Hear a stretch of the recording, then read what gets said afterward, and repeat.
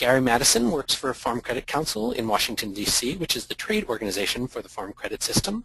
Farm Credit is a nationwide network of borrower-owned lending institutions providing credit for the nation's farmers and ranchers. As the Vice President for Young Beginning Small Farmer Programs and Outreach, Gary seeks to identify and meet the needs of the next generation of farmers and ranchers as part of Farm Credit's enduring mission of service to agricultural, agriculture and rural America. Until recently, Gary was a small farmer operating a wholesale greenhouse business in New Hampshire, including raising cattle for the local freezer beef market. He holds bachelor's degrees in agronomy and biology from the University of Connecticut. And Tyler Madison is a credit representative with Farm Credit East, the largest lender to agriculture in the Northeast. He has had articles published in industry publications like Grower Talks, Green Profit, and Progressive Forage. Tyler has also worked at the Boston Flower Exchange and on his family's greenhouse operation in rural New Hampshire. Tyler, Gary, take it away. All right, thanks, Jeff. I assume that all of you on the conference call are pretty good problem solvers. You've been walking around paying attention uh, enables you to be capable managers of your farm operations. But can you tell me the next challenge that you're going to face? Are you prepared to find future success in your farm business, or are you just going to manage what you've got now on a on a day-to-day -day basis? As beginning farmers, you're entering agriculture at a time when new economic realities are being defined. And rather than thinking of yourselves as just farmers and ranchers, I'd like to make the case that you should think of yourselves as farm businessmen, businessmen and women so that you're ready for the opportunities that will be coming your way. So what do I mean by new economic realities? Okay, well, let's start with some facts from a 2007 USDA census. And that is that um, almost a third of farm households generate additional income by engaging in business ventures that are independent of their farm production. So they've got a farm business, but they do something else, some other business also. And those other businesses can be divided into two different kinds. Um, activity that's pursued um, can be either on-farm diversification, such as custom work or value-added processing or agritourism, you know, something like a corn maze, or a CSA, or other direct retail marketing channels. And the second type of non-farming activity is an off-farm business ownership of enterprises that are not related to farming, uh, something on Main Street. So in 2007, this on-farm, off-farm economic activity was worth $29 billion in additional farm household income. But something else happened in 2007, and that is, for the first time ever, direct-to-retail direct-to-retail sales by all farms surpassed custom work to become the leading on-farm entrepreneurial activity in terms of farm, farm household participation. So for the first time in history, the primary avenue for diversification of farm businesses became direct-to-retail sales. And furthermore, each layering of an additional on-farm direct sales activity, such as having a CSA or a farm stand or other enterprise, will on average add an additional $9,000 of profit. So it's important to note that the one type of direct-to-retail activity shown on this map, CSA farms, is present in more than 8 out of 10 counties. Retail agriculture is everywhere in all parts of the country, and it's the most common form of on-farm diversification. So what about the economic effect on the rural communities where these off-farm enterprises are located? Okay, the off-farm businesses that are owned by farmers and ranchers employed 811,000 full or part-time workers and generated an estimated $19.5 billion in labor income in 2007. Farmers and the businesses they operate are a huge part of the rural economy, and they're particularly important to the communities where farm families live and grow up. So the seeds of this new economic landscape may not be cropping up on your farm, but it's certainly happening around you. You should get used to the idea of thinking of your neighboring farmer and yourself as rural entrepreneurs. In your career as a farmer, as a rural entrepreneur, you are likely to own several businesses over your lifetime. More than one will be an off-farm business. So what are the consequences of this new arena for farm business people? It means you have the capability to be a major economic force in your community your entrepreneurial skills will be highly portable from farm to off-farm enterprises. This will result in greater occupational mobility into and out of farming, which will be a natural part of your life as a rural entrepreneur. From my perspective as a farm lender, Holding more than one job and operating multiple enterprises will be common. In my loan portfolio, which is very heavily weighted towards retail agriculture, I think it is common. I see diversification as a stable path of income generation, as long as you're not wandering into the realm of business ADD, which happens when you continually start new enterprises and can't concentrate well enough on any of them to operate profitably. While there is merit in the risk mitigation aspect of diversification, there's also a lot to be said for focusing on doing what you're good at and building on that strength. To do that effectively means business planning, which will help illustrate what's enough and what's too much. In this farm entrepreneurial endeavor, your primary tools in planning will be a business plan and a budget. A business plan is a narrative or list of why you want to do something, what you're going to do, and how you're going to do it. A budget is a plan in numbers, is the tool that projects if you'll make money, if it will be enough, and if there'll be cash available when you need it. We'll have examples of a simplified business plan and a simple budget for you later in this presentation. We want you to be prepared to thrive in an environment where you're likely to operate many separate enterprises on the farm, as well as own multiple businesses off the farm over the course of your careers. You should not just plan to succeed, you should plan to be happy. You should define how you define success and happiness will change over time. So it's reasonable to expect that your goals and your plans are going to need to be altered over the long run. Effective business planning sets long-term goals and also prepares for the short-term emergencies. Now, you're prepared for a lot of contingencies already. You look both ways before you cross the street. You have lots of spare parts on hand. You install irrigation. You buy insurance. A lot of these things are best practices of how you manage risk by planning ahead. So you already do a lot of this kind of risk management. Managing risk by planning ahead is nothing new to you. Before you took a day off, you probably wrote lists of things to do for the folks who are looking after the farm while you were away. You also wrote down who to call if there was a problem. In a more complex and challenging business environment, you need to be able to plan ahead for more than just signing on to a webinar. As your business grows and evolves, it will require you to be more of a manager than a worker. Generally speaking, if you double the size of your business, you will need to devote four times as much effort to management. You may need help to do this, and you will need an understanding of how getting from your plan to your successful outcome happens. Without a plan, everything looks like a failure in the middle. If you were to chart the emotions involved in getting a farm business up and running, you'd have hope and confidence at the two ends of the scale and a valley of despair in the middle. That's when you've started to implement the plan and it seems that nothing is working out right. You find more and more problems that you weren't expecting. Just to be clear, hope does not constitute a plan and having confidence does not mean you're right. Sometimes the easiest person to fool is yourself. But if you have a business plan to work from, your mindset will change because you have measurable, incremental improvements that you can aim for. Having a business plan allows you to find a path to success through the darkest hours in that valley of despair. Now, there's a bit of psychology going on here, but I prefer to think of it as a tool for self-awareness rather than just fooling yourself. Because what a business plan allows you to do is anticipate failure. And by planning for the worst, it allows you to become more optimistic about getting through all the difficulties you're going to face. Minor failures become a learning experience rather than a catastrophe.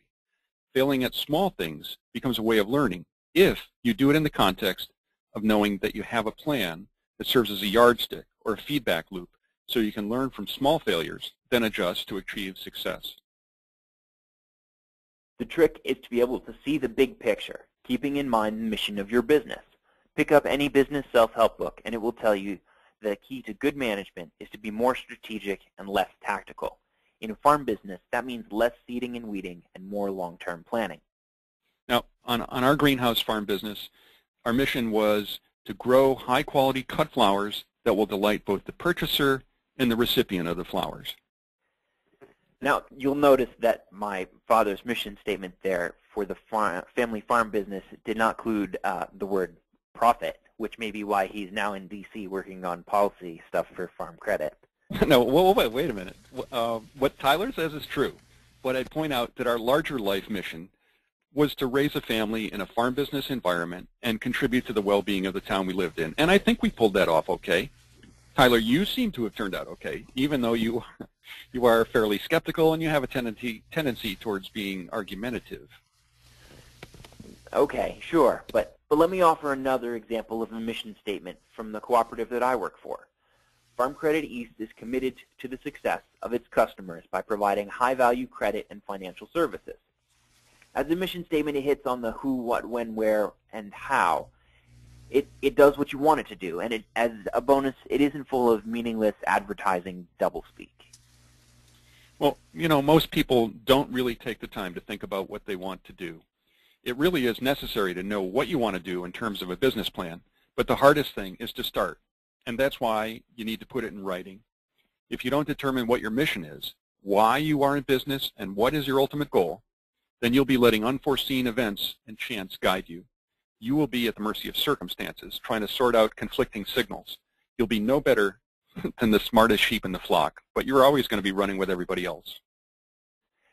In my experience, people tend to get hung up on the difference between making a plan and predicting the future. I've heard farmers say, how can I make a budget when I don't know what the price of milk will be next year, and I have no control over that? I tell them it doesn't matter. Having a budget that plan in numbers allows them to anticipate what the price of milk will be next year and then adjust for changes in the marketplace. Often the hardest part is taking the leap and putting pen to paper. So let's get started. This one-page business plan is intended to show how easy it is to write down some thoughts about your business. It was created to demonstrate how to think about business planning, to begin the process. It is not intended that you fill this out and hand it in like some homework assignment. A business plan is a communications tool for communicating with your partner, your spouse, your family members, your employees, your lender, and for yourself as a way to organize and remember your thoughts. After all, a business plan doesn't do any good if it's only in your head. For a lender, a business plan probably needs to be more than one page.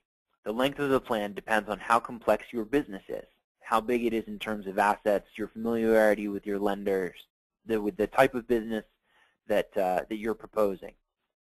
So on this slide that we're looking at, the core ideas that you'll likely want to address are people and financial and production and marketing. Now, keep in mind this isn't a science. Other people are going to have different ideas about what should be included in a business plan, but that's what we thought was important.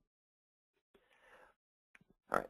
So I've prepared a one-page business plan for a hypothetical business in which I am the sole proprietor and I have one employee. My mission statement references the three things that I think are most important about running a business, quality, profits, and ethics. Uh, the mission statement is, the mission of Tyler's Tip Top Tomatoes, LLC, is to grow good food, make good money, and be good people. If you look below the mission statement, you'll see that the first objective is about being a good person, which includes spending time with my family, taking, taking Sundays off, right? Uh, this is a SMART goal, meaning that it's specific, measurable, attainable, rewarding, and timed. I have identified the things that I need to do in order to take Sundays off in the action plan, which is below the SMART goal, right? I need to train Charlie, who's my only employee, uh, for all the things that I do on Sundays, uh, and to make sure that he has the resources to um, to handle something in case something goes wrong. So I gave him all the numbers that he would need to call for that. And I don't just want to decide to do this and let it run uh, and uh, and and not know how good a job Charlie's doing. So I've decided that I'm going to check in on him on a on a quarterly basis since it's a small operation um, and make sure that he's doing what uh, he needs to be uh, and, and, tell him that also. So um, that wasn't too hard, was it? So I went ahead and made some other objectives. Um, so objective two, which lines up with making money, uh, or sorry, which lines up with um, with uh, financial, uh, is, and objective three is for uh, increasing efficiency, and objective four is for uh, some marketing ideas. Um, and uh, objective two, back to objective two. Uh, I've decided that I need to make enough money to pay myself, uh, the bank, and reinvest in the farm.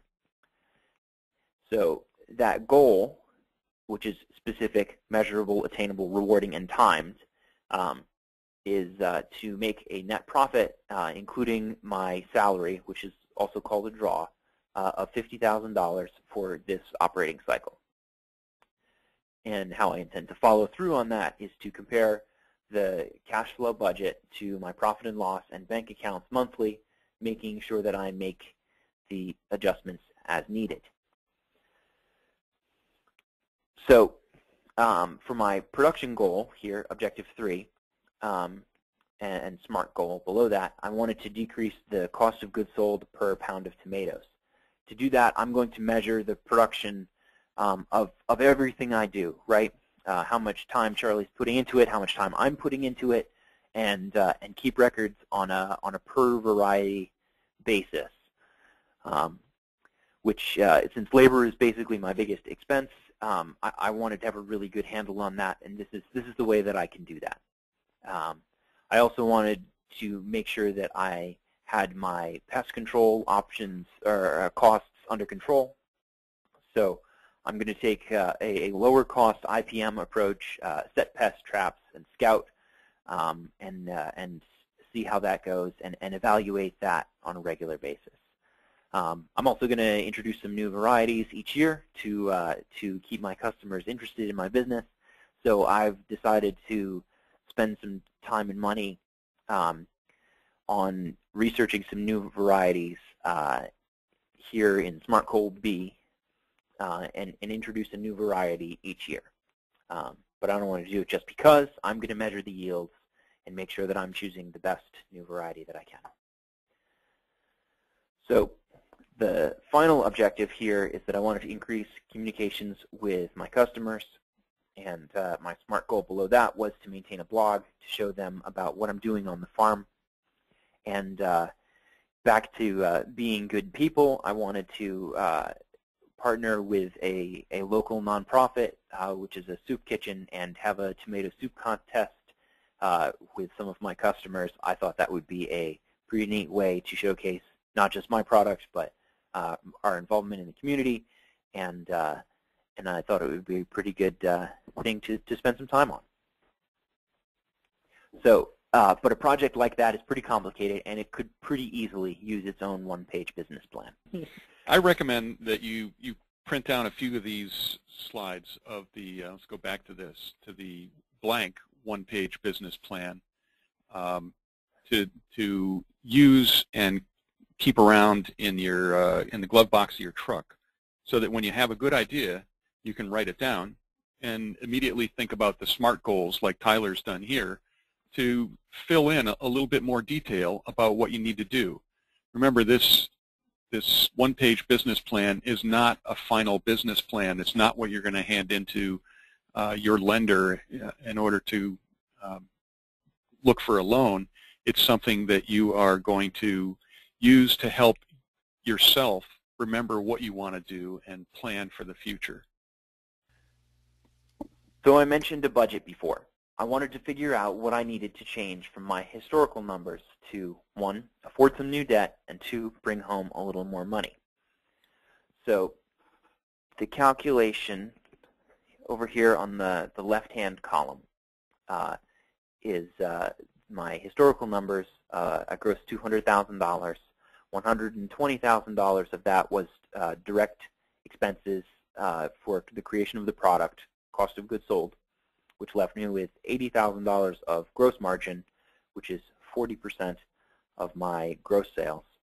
Um, of that $80,000, I spent $60,000 on overhead, which uh, is typically made up of the things that we abbreviate as the dirty five, which is depreciation, interest, repairs, taxes, and insurance. Those are not direct production expenses.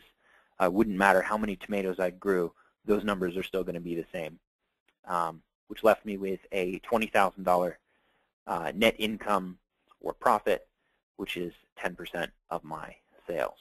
So um, I figured out over here on the right that um, I wanted to, to bring home a little more than $20,000. I wanted to bring home 30 um, the project that I am contemplating, I'm going to have to pay the bank back uh, $20,000 a year, um, which means that I need to generate $50,000 of profit as opposed to the uh, 20 that I had made the year before. Um, since I'm not really changing anything about the structure of my operation in this example, um, my overhead expenses are going to stay the same, uh, which is $60,000. But uh, I'm going to need more gross margin uh, than the $80,000 that I had the year before. I'm going to need $110,000. So um, to figure out how much I need in gross sales to, to generate that $50,000 of total profit, um, I took the COGS percentage that I had before, which is 60%, uh, also represented by point or 0.6 here in the math. Um, so said a different way, that's 100% minus 60% equals 40%. So I'm dividing that $110,000 by 0.4, which gets me $275,000. That's the sales that I need in order to generate $50,000 um, in this example. Now, Tyler, I'd, I'd add to that description that you can see on this slide that the, the instructions are all right on this slide, um, and also some resources for uh, looking up your um, your historical costs. If this is your first year in business, obviously you're not going to have good business records, and there are places to find them online, there, which are shown up under number one.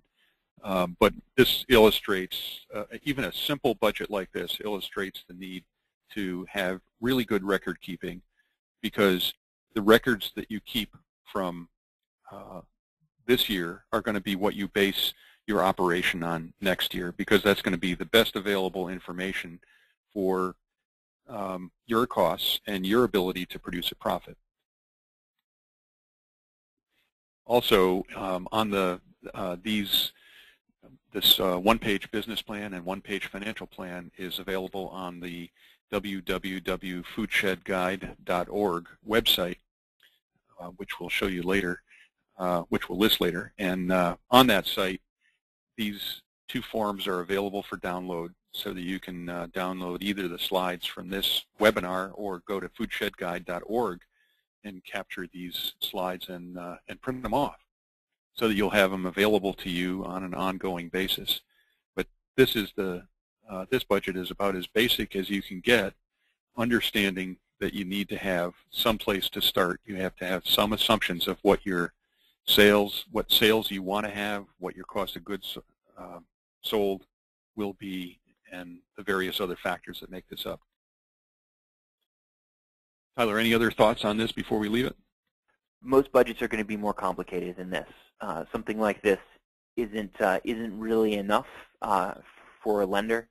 They're typically going to want to see a monthly uh, cash flow budget, um, which which this is not, um, it, which is more complicated. Um, and but there's some great resources out there for for uh, um, a, a, a budget like that. Um, I seem to remember a really good article from uh, a professor at Purdue, um, and uh, but but if you've never done budgeting before, start with something like this, and uh, and and uh, the next steps will be easier.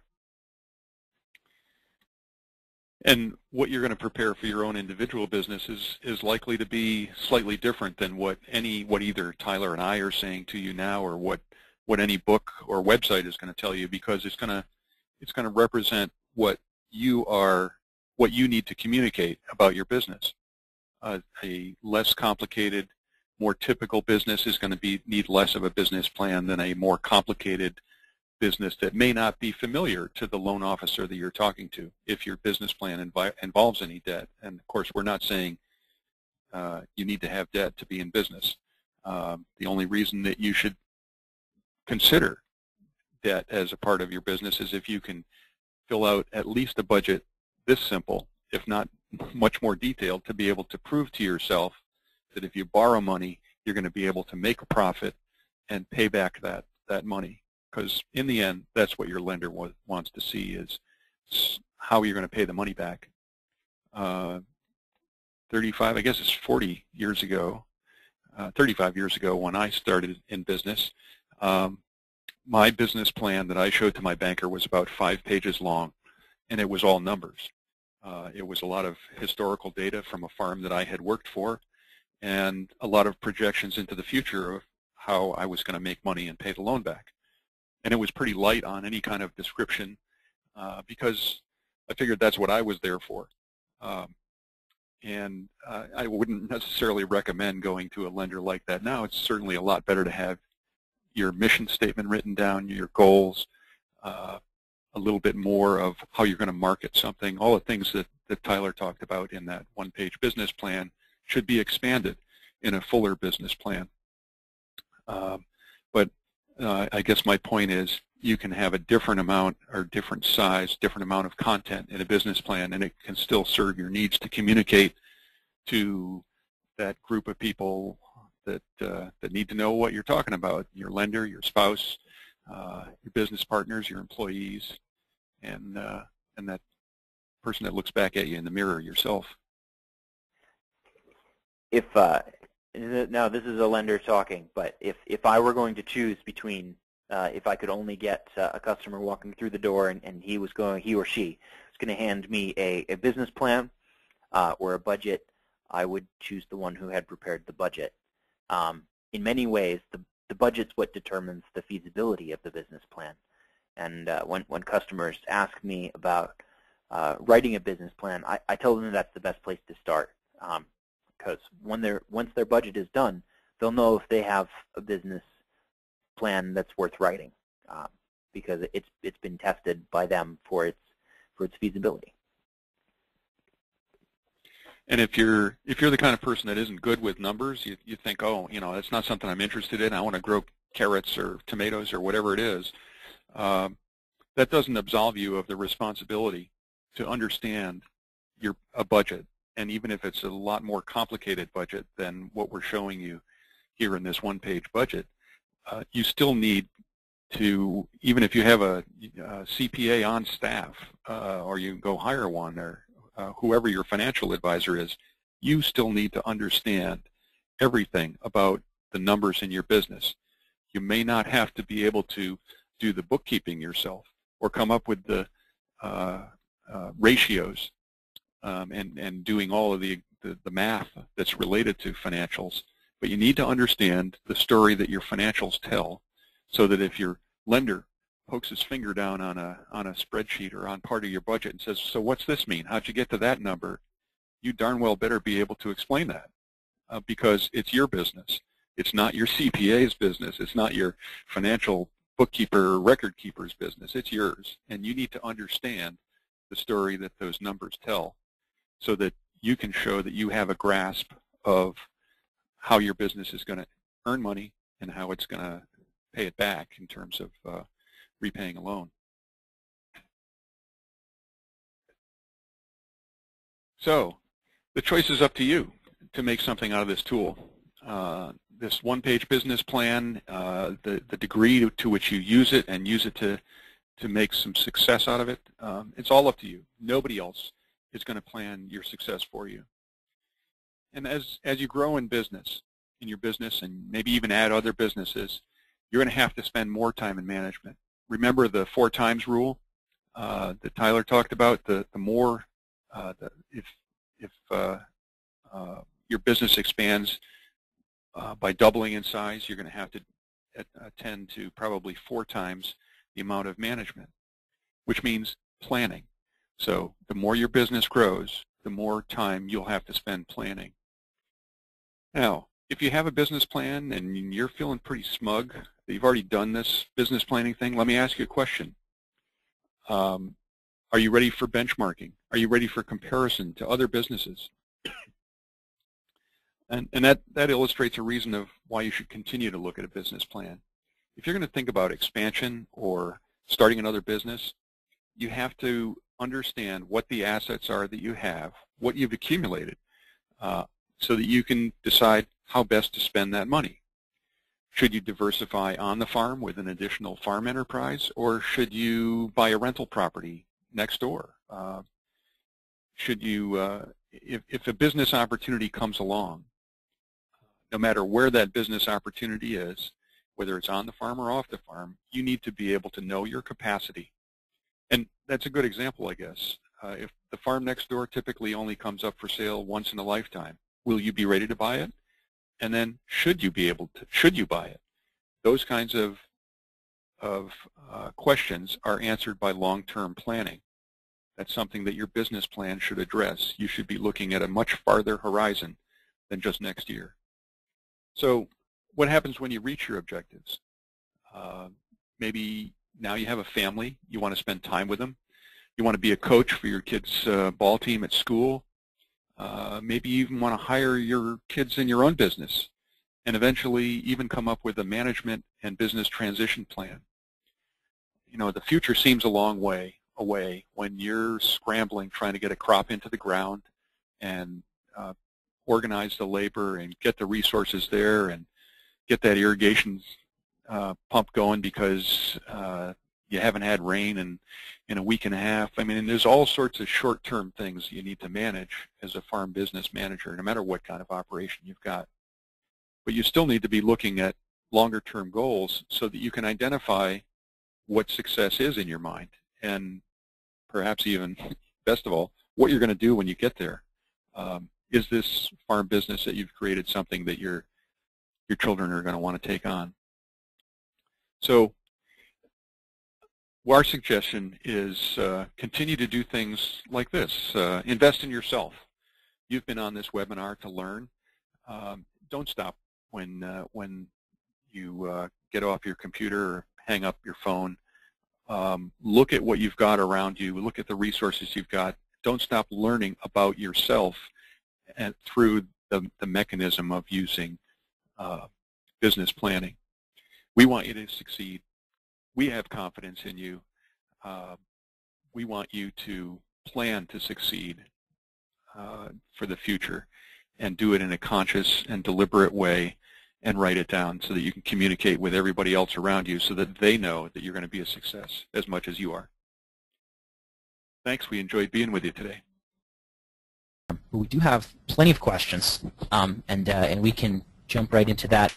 There's one question that uh, asks um, if the profit component of a business can fall under uh, an objective rather than uh, the mission statement. So this is in reference to the one-page business plan.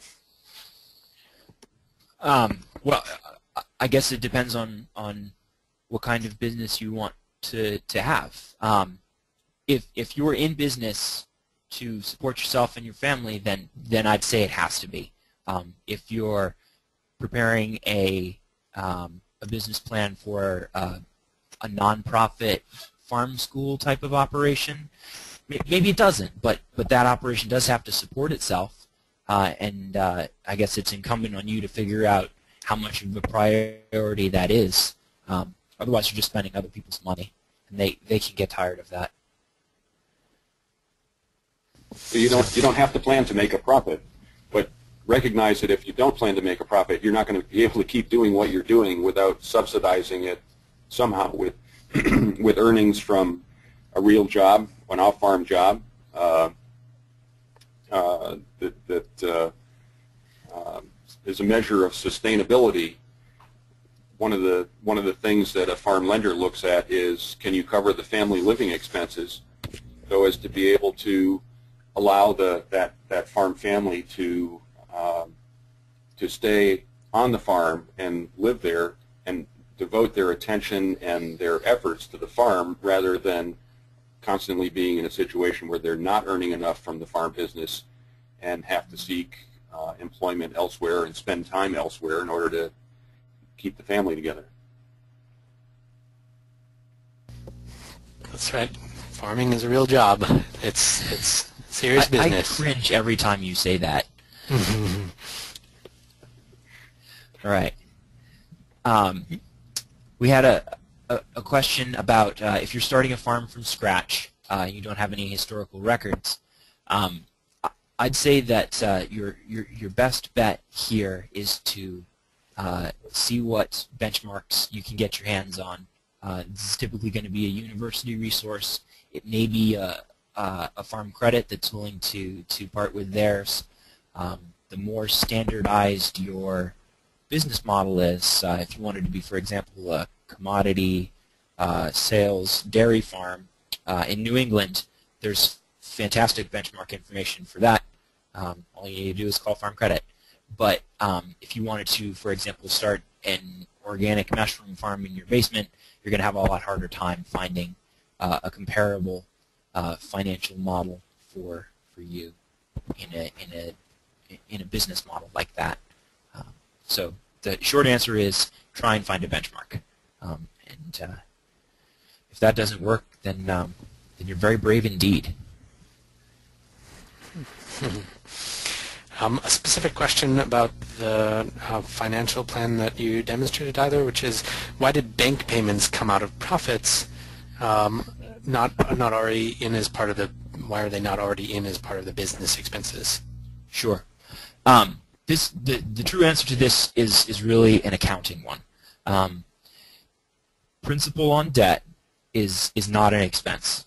Um, and and I know that's a hard thing to think about because it's it's real. Often it's a really big expense. Uh, uh, you know, it's coming out of your bank account. You got to pay it every month, but it's not a, a, a true expense. Uh, certainly, according to the IRS or, or the generally accepted accounting principles that your your tax preparer or accountant is uh, is uh, required to to live by.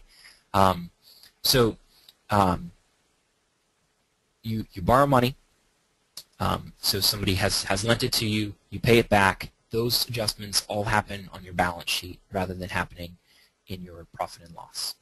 Um, so that, that's a very long discussion about uh, accounting principles, um, and there, there are other resources out there that, that would be able to, to help you find out more on, on, on that. But uh, I'd, I'd say, Tyler, I'd, I'd, I'd describe it as, in a shorter way, that when you borrow money, the money that you actually pay back um, isn't an expense because you, you borrowed it and you're giving it back. What what is the expense is the cost of renting that money, which we call interest.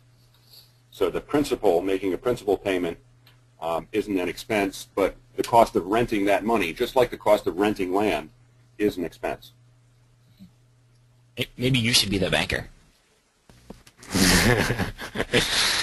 Um, uh, a question about uh, uh, how to manage a, um, a diversified business. Um, say an operation that Sky mentions is, has veggies, has flowers, has livestock. Do you do three separate budgets since there's different COGS and profit, or do, should mm-hmm. you do a, a unified budget? Um, Both? Yeah, they, that's not a difficult answer, or not a difficult uh, thing to answer for the producers that I see doing it. Um, and uh, I would say that, that the ones who keep the best records uh, about it do that, which is called enterprising. Um, and uh, enterprising really happens uh, from with, with just your gross sales and your COGS, and the overhead expenses are, are shared, right? Uh, you're, you're going to have, generally speaking, the same insurance for all of your operation.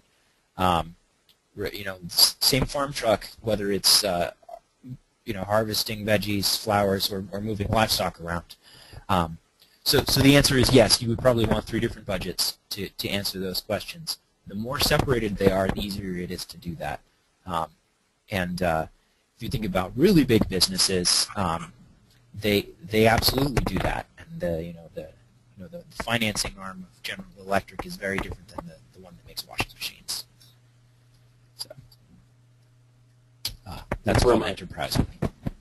From a from a small farm perspective, if you have a a, uh, a diversified farm enterprise with vegetables and livestock and um, even sell through different marketing channels, um, you really want to separate out those expenses so you can determine the cost of each of those enterprises because you may find that you're earning a lot of money uh, in the CSA part of your business and losing a lot of money in livestock uh, wholesale part of your business, just as an example. Because it's, it's so easy to hide expenses without keeping accurate records. And that would include things like uh, making sure that you write down the amount of labor that each of, that whether it's your own labor or whether it's your hired labor, the time that you spend doing different parts of your enterprise Um, that's a really hard thing to have the discipline to accomplish, but that's how you can determine where you should spend your time. Um, if you if you keep records, you'll be able to compare. Uh, the hardest thing to do in, in starting to keep records is that you uh, it's hard to see the benefit of it because you don't have a comparison.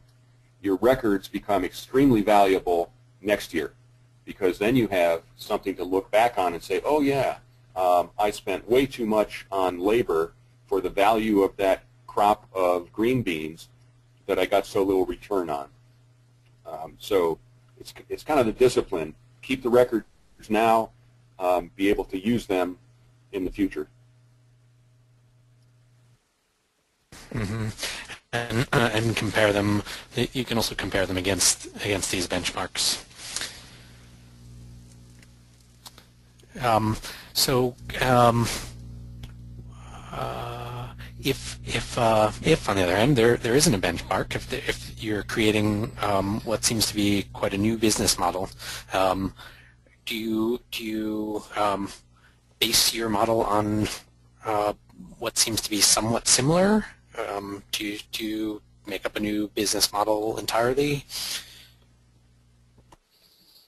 Um, yes, basically. Uh, you, you're, you're making up a new business model entirely, or, or at least not one that it's going to be easy to share uh, your your um, your your certainly your gross margin ratio or your net profit ratio with other people, um, and that's uh, I mean that's that's something that, for example, CSA farmers have had a a, a challenge with for a long time. Um, be, even though they communicate with each other, at least around here, they communicate with each other a lot. Um, and uh, and you know, Farm Credit tries to step into the gap where that where that need is perceived. Um, so we've we've started a, a, CSA benchmark to to try and figure out some of those things. Um, we have benchmarks for other uh, other enterprises, but it really only covers the Northeast uh, and our market area. And uh, for those of you not around here, uh, it, it also takes, it is heavily influenced by the very high price of land around here. Uh, and it may not be useful to somebody in, you know, Alberta, Canada, or uh, or Iowa. So. But, uh, but by the same token, Tyler, the uh, um, having a benchmark from from whether it's from Farm Credit or from Cooperative Extension in your own state is a better place to start than just making it up um, off the top of your head. That there's there's uh, the value of a of a poor benchmark is still better than than probably just guessing. Uh, and I'd point out that in a previous National Good Food Network webinar, um, which you can find on the uh, NGFN website, you can download the slides for um, the CSA benchmarking webinar, and that would have some very specific uh, percentages that relate to the one-page business plan as far as where you would see expenses, costs, uh, and, and revenues from a typical CSA.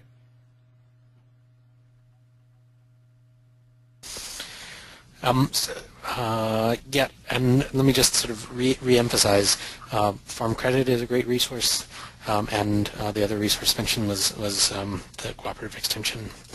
Um, back to that uh, diversified farm with the three budgets. Um, do you share overhead? Do you just divide by three?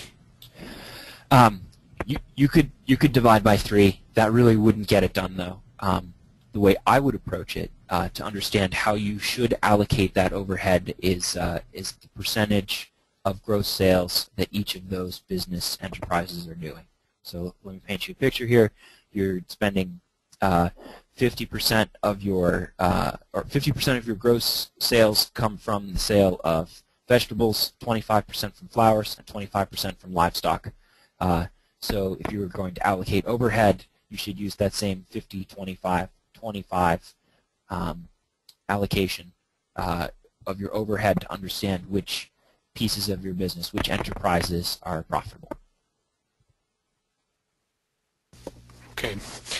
Um, a question about um, if a, a, lender wants to see COGS and overhead broken out into separate line items, or can you just keep them as a total?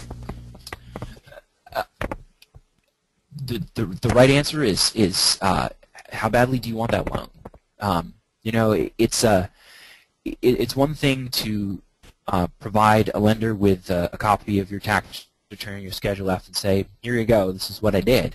Um, and but that's for me, at least, that's sort of the minimum acceptable um, financial information in order to be able to underwrite a loan. And sometimes that's fine, especially if the loan is smaller, it's lower risk. Uh, that's that's great.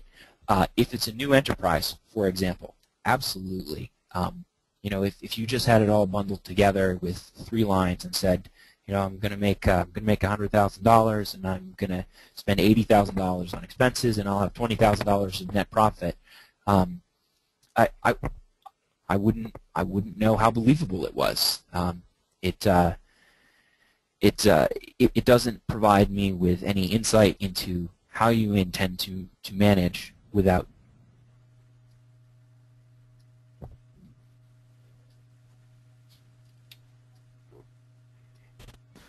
what I did uh, with my first, and we're talking several, three decades ago, 30 years ago, starting with my first, the first time that I approached a lender, um, and it was a, a, commercial bank, not Farm Credit.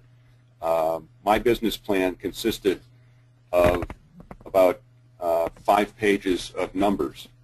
Um, I had a focus on uh, business performance and profitability and the, the cost of actually building the the, uh, the greenhouse facility that we were going to be raising flowers in, and that I, I would uh, you know we, we got the loan um, fortunately, but I, I think that the the thing to recognize in what Tyler was saying is that if you're going to be talking to a banker, um, farm credit or a commercial banker, doesn't matter, you need to under, you need to recognize the language that they speak. Um, they're going to want to see numbers. They're going to want to be assured, uh, just like you would if you were going to lend money to a friend, you know, significant thousands of dollars to a friend. So what are you going to do with it, and how are you going to make enough money to pay me back? Those are the kinds of questions that a lender is thinking about. Um, and and so to address address those questions in a lender's mind, uh, the more that you can demonstrate your understanding of the numbers of your business, I think the more impressed your loan officer is going to be. So like Tyler said, you know, for a small loan of a, a pretty simple, uh, uh, easy to understand business, maybe tax returns and Schedule F would, would be sufficient. But um, you're the best teller of the story of what you want to accomplish. You just have to make sure that you tell it both in, the, in that narrative form that you're probably really good at, as well as telling it in the, in the form of of budgets and projected income and when in the year you're going to be earning that money. Um, the kinds of things that the banker is going to worry about of, uh, okay, you had a great, uh, a great production season, but how are you going to make your payment in January? Um, so putting, putting your mind in the, in the, uh, uh in the, putting yourself in the mind of a lender is probably a, a good idea as you think about uh, getting together material to go and approach a lender. Well, I, I think that's a, a great note to, to end on. Um, the, the nature of having over 200 people uh, on a webinar is that there are questions we are, were unable to get to, so for that we, uh, we apologize. Um, and I want to uh, thank Gary and Tyler. I'm confident that you have a better sense how these one-page plans can help you on your way to improving your business and get you access to opportunities that without a business plan you wouldn't have.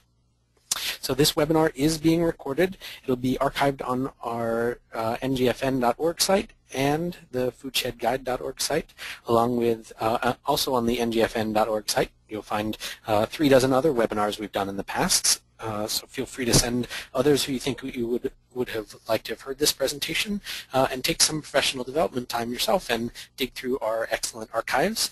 Um, again, that website is ngfn.org slash webinars, um, and this should be up within a few business days. Our webinars are organized into topics, so if you look in the left-hand navigation area, dig into whatever it is that interests you. We, uh, we do regularly offer these webinars. Um, generally, they're the third Thursday of each month uh, at 3.30 uh, p.m. Eastern Time. And sign-up links are at ngfn.org slash webinars also. In June and July, we're focusing on, on grass-based animal agriculture. First, we'll look at the strong markets for grass-based beef, including a market analysis that the Wallace Center has been doing for the past year, as well as a case study of a cooperative model we think can be replicated in many parts of the country. And then in July, um, we'll look at the market and other benefits of transitioning to grass-based dairy. Again, we'll have a case study and an introduction to an apprenticeship program designed to effectively get new and transitioning ranchers up to speed on the different intensive management techniques. Um, the Wallace Center maintains several websites, uh, including foodhub.info, which is a food hub hub of information, research, case studies, a map of the many food hubs across the country, um, which uh, we uh, are keeping updated. Um, we also have a link to the uh, recently released Food Hub Resource Guide, um, and uh, tomorrow we'll be releasing the um, archives uh, of our conference uh, that we uh, took place this spring, so um, you can listen to the recordings of all the sessions there. There are links to TA providers with experience in aggregation distribution. If you are a TA provider or consultant on this call, you should take some time and create or update your profile on ngfn.org. This is becoming an established place for those in need of assistance to find their help, so you want to be listed there. There are over 180 individuals and organizations Welcome to GoToWebinar, web events made easy. If you have a resource you'd like to share, let us know. Contact at ngfn.org or qfed at winrock.org. And foodshedguide.org mentioned excuse me, on this webinar is our site for producers wanting to adapt to the changing food, system, food business landscape. We have uh, instructive text and case studies with an emphasis on how to have a viable business in a food value chain. Learn more about, for instance, factors to consider when deciding on a legal status, such as LLC or C Corp. Moreover, that's where you can download the one-page business plan and financial plan. Um, we will also post the archive recording of this webinar, foodshedguide.org for more. You can find the NGFN on YouTube, on Twitter, and on our website, ngfn.org. I'd like to encourage you to add your name, interests, and bio to our growing database. Um, again, uh, the NGFN is uh, filling its role there as acting as connector. Again, uh, if you haven't already, sign up for our email updates. There's a link on the ngfn.org homepage, or even easier, just let us know in the post-webinar survey that we'll launch in just a moment. We'll, we'll sign you up. Um, contact us at any time. Contact at ngfn.org again. And we'd like to thank you for your time this early morning. Uh, and let me encourage you again to fill out that survey. Thank you. Have a wonderful day.